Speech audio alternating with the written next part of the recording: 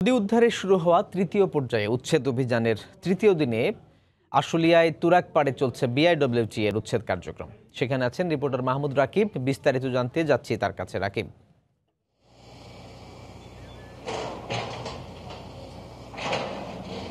হ্যাঁ রাজু, আপনি জানেন যে মূলত আজ সাতাশতম দিনের উচ্ছেদ অভিযান চলছে এবং আজকে উচ্ছেদ করা হচ্ছে একদম আশুলিয়ার শেষ প্রান্ত, অর্থাৎ উত্তরার ঠিক আগ মুহূর্ত বলা হয় জায়গাটিকে, তুরাগ নদের পাড়ে। তবে আজকে কিন্তু এই মোট উচ্ছেদের যে সাতাশতম দিন, এখানে এসে কিছু অনিয়মের অভিযোগ উঠেছে। এবং আমি একটু আপনাকে সেগুলো একদমই দেখাতে চাই সরাসরি। যেমন আমরা এখন আছি তুরাগ নদীর মাঝখানে রয়েছি। আপনি দেখছেন এই সামনেই তুরাগ নদী।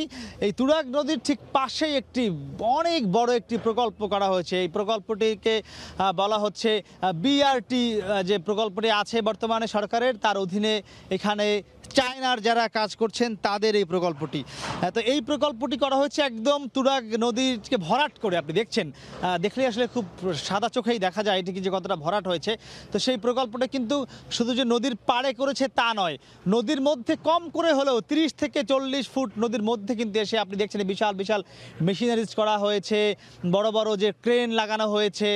এবং এখানে মূলত এই যে চায়নারা যে কাজগুলো করছে বিআরটি প্রজেক্টের অধীনে এখানে সেই প্রজেক্টের কাজগুলো করা হয়। একইভাবে আমরা দেখেছি এর ঠিক আগ মুহূর্তে আরও দুটি বেসরকারি প্রতিষ্ঠান, একটি ছিল ক্রাউন সিমেন্টের রেডি মিক্সার যেটি বলা হয় রেডি মিক্স প্ল্যান্ট আমরা আগের দিন দেখেছিলাম একটি রেডি মিক্স প্ল্যান্ট উচ্ছেদ করা হয়েছিল।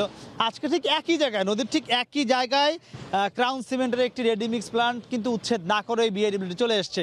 তবে তারা যে বিষয়টি বলেছে যে ক্রাউন সিমেন্টের ওই রেডি মিক্স প্ল্যান্টটি বিআইডব্লিউটির অনুমোদন প্রাপ্ত। কিন্তু আমরা জানতে চেয়েছিলাম যে একই জায়গায় যেহেতু আগের দিন একটি ভাঙা হয়েছিল। ওই বরাবর ওই বরাবর আরেকটি কেন রেডিমিক্স যে প্ল্যান্ট তা ভাঙা হচ্ছে না, সেটি তারা বলেছে যে, যেহেতু এটির বিআরএলটির অনুমোদন আছে, সে কারণে এটি উচ্ছেদ করা হয়নি। তার আগে আমরা আরও একটি দেখেছি স্থাপনা, সেটিও একটি বেসরকারি কোম্পানির। সেটিও কিন্তু এবং সেখানে আমরা লাল দাগ মার্ক করে দেখেছি যে লাল দাগ দেওয়া হয়েছে, কোন, কোনটুকু নদীর সীমানার মধ্যে পড়েছে। তো সেই লাল দাগ থাকার পরেও কিন্তু সেটি উচ্ছেদ করা হয়নি। সেক্ষেত্রে বিএনএলবিটি বলেছে যে তারা তাদের যে স্থাপনাগুলো নদীর জায়গায় পড়েছে, সেগুলো নিজেরাই ভেঙে ফেলা হয়েছে। যদিও আমরা গত সাতাশ দিনে কিন্তু একদিনও দেখিনি কোনো স্থাপনাকে ভাঙার জন্য সুযোগ দেওয়া হয়েছে।